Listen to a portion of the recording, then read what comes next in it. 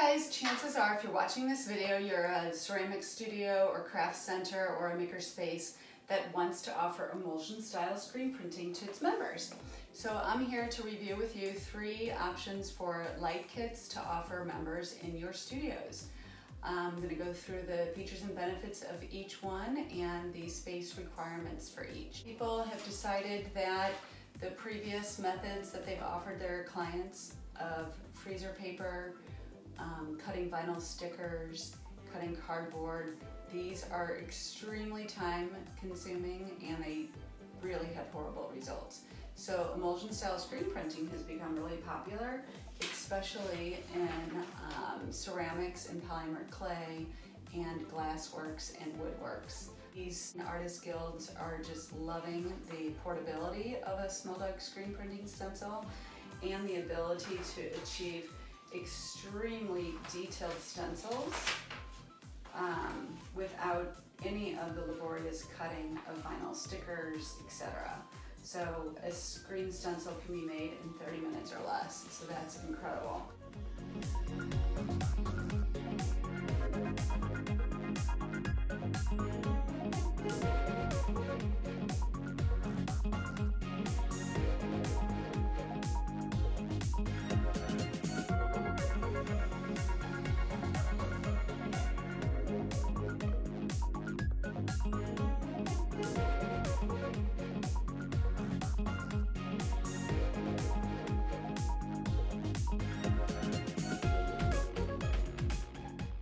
The binders can be whatever width you'd like, the three ring binder.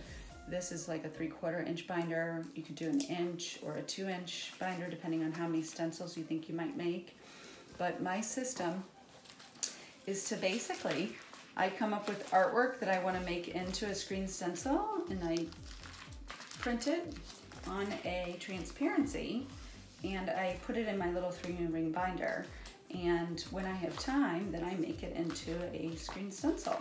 So lots of ideas are in this binder. Some things I have made into a screen stencil and some other things have yet to be made into a screen stencil. But the sheets are eight and a half by 11. Um, and you can make one big screen stencil that takes up the entire page or a series of tiny smaller screen stencils, smaller screen stencils and I usually just put a little line and once it's made into a sheet of custom stencils, then I just cut apart the stencil on the little fine lines that divide them. So this was cut and then these all need to be cut. And then you've got a series of really tiny screen stencils. So these are just some examples of things that I've made over the years. I have one that's a fun binder, and then I have one that's a work binder. And in my work binder, I put in my logo stencils that I use for packaging and other fun projects. So this screen stencil I have in my other um, work binder. You basically just print on your transparency Use the transparency and film under the light source of your choice to make a custom screen stencil. And when it's dry, it feels like paper and you can pretty much just adhere it to any surface, flat or curved, like this one, and then push various inks through it to personalize items. This is a plastic tote that I'm going to talk to you about um, I personalized to make it a light kit box. I'm going to go through with you depending on the square footage you have available to dedicate to your small dog screen printing area. Um, that's going to dictate pretty much which of the three light sources you can use. So the very first and least expensive way is just the traditional DIY light kit. It comes with a stand, the shade, a clamp, and two bulbs, the exposure bulb, which is a compact fluorescent light bulb, and then a safe light bulb that you can use in a, substitute, a different fixture to make the area safe to handle film before you expose it. So this is a really good unit to use for a space that you can dedicate to screen printing where you can turn off the lights in that space and there are no windows or doors with sunlight flooding in. So basically, if you have a room that you can dedicate, like maybe a photography room that's not really being used, or some other you know square footage where you can turn off the lights periodically for exposure, then you can use this unit. Even so, um, you know, many, many studios, they just don't have space where they can dedicate an entire room to screen printing. So that's why we have come up with a modified, approach that a lot of makerspaces and craft studios use um, to offer custom emulsion style screen printing in their studio, but to not have to dedicate space.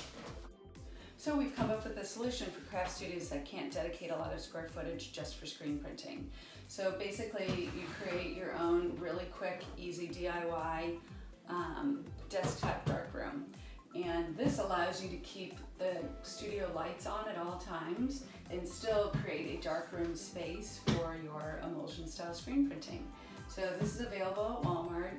It's a 20 gallon mainstay uh, black tote. I personalized it later, as I showed you before, with a stencil. And I simply made a custom screen stencil with my logo and positioned it on there and added just thickened Dick screen printing ink to my squeegee and personalized it. I let it dry. And after it was dry to the touch, I used this 2X clear matte seal protector um, Rust-Oleum it bonds to plastic, metal, wood, and more. So it seals it so it keeps it from chipping. So that's how I personalized my little tote. But to make it a desktop darkroom, all you have to do is turn it over, take your one and a quarter inch drill bit, drill a hole on the very top,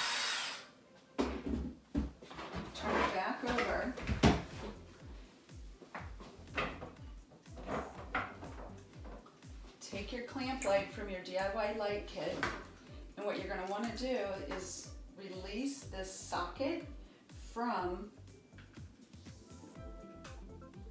the clamp.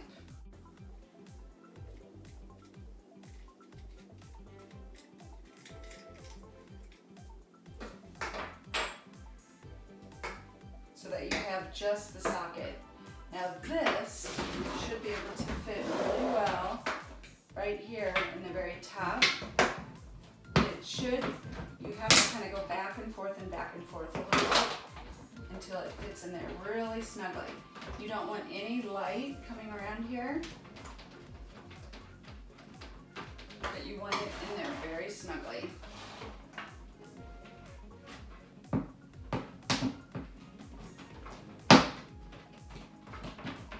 All the way up until that top ring. If you can see that, but you want it pushed in. You have to push it in all the way because when you screw in the bulb on the inside, the CFL exposure bulb will get screwed into here. And the tip of the bulb to the edge of the box should be about 12 inches.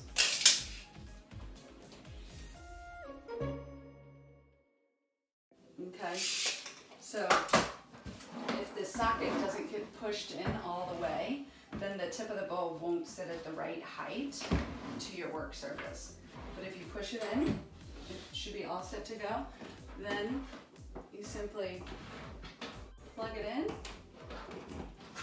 turn on the socket, and voila, you have your desktop darkroom. So this is a great, there's a, an additional video in the frequently asked questions, but it's really a really nice way, not very large, um, desktop darkroom, but it is allows you as a craft center to keep the ambient lights on in the room, but still make emulsion style screen printing. So that's the second way. Then the very last way, many artists that do have the capability of turning off the ambient room lights, but they want to make more than just one full page screen stencil at a time. These grow light kits, I got this one at a thousand bulbs. Um, it's by Agrobrite and it actually comes in a lot of different sizes. The one that I got here, and you can see a picture of it on the box. This one is a 24 by 12 by 13, but it comes in 28 lengths, 46, 48, depending on how many screen stencils you'd like to make. This one comes with under cabinet mounts, where if you had a cabinet, you just screw in little hooks, and then this would hang from your work surface at 12 inches tall.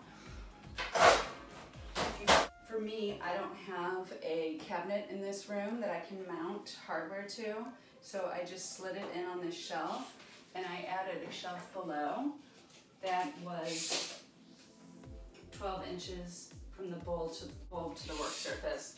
So this will allow me to expose multiple screens at one time. This method, you can fit probably two full page screen stencils under here, one, two. When it's mounted like this, these brackets get in the way.